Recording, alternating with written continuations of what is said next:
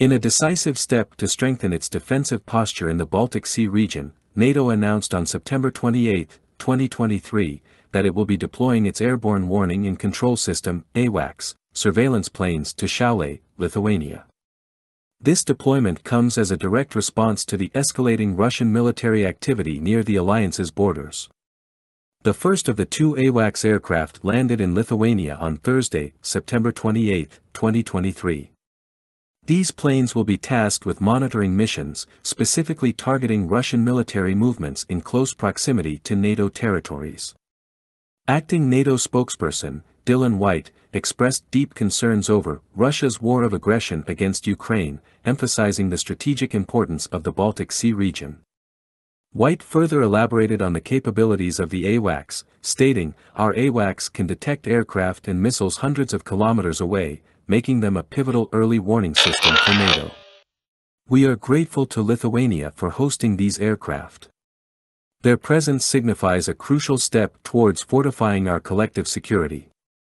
This move by NATO is part of a broader strategy to enhance its air presence in the eastern part of the alliance. This strategy has been in play, especially after the recent Russian drone strikes near NATO territories. As a testament to this, just last week, the United States deployed an additional four F-16 fighter aircraft to Romania, aiming to strengthen NATO's air policing mission.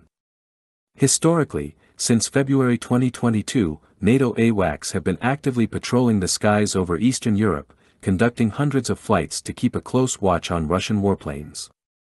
The upcoming AWACS reconnaissance flights over Alliance territory are slated to commence in the next few days. This mission is anticipated to span several weeks.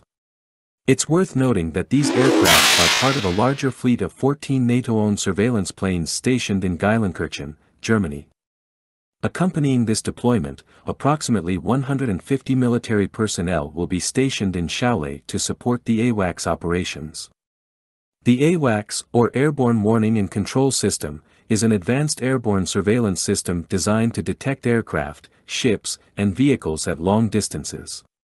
Mounted on a modified Boeing 707 or E-3 Sentry aircraft, its most distinguishing feature is a large rotating radar dome, rotodome, above the fuselage. This radar provides a 360-degree view of the airspace, allowing the AWACS to monitor vast areas and serve as a flying command and control center.